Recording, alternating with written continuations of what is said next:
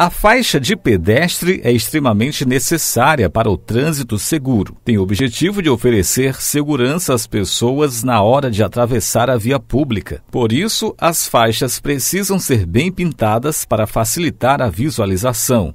Mas não é essa a realidade de algumas faixas na área central de Caxias. A faixa localizada na Praça da Igreja Matriz está praticamente apagada e acaba confundindo motoristas e pedestres.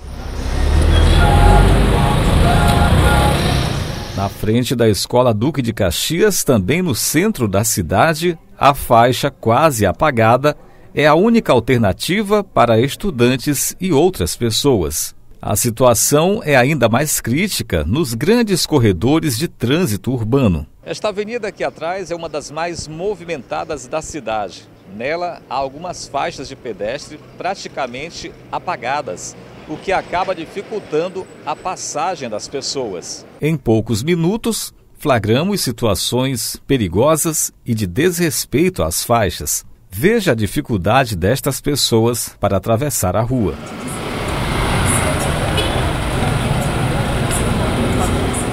Quem mora ou trabalha nas proximidades fala que já aconteceram acidentes por conta da faixa quase apagada na Avenida Central. O capítulo na moto aí no fundo derrubou a ré pelo outro lado aí. E a gente ajuda as pessoas para passar aqui, tem que ajudar. A pessoa de idosa tem que ajudar a passar, a pessoa não respeita.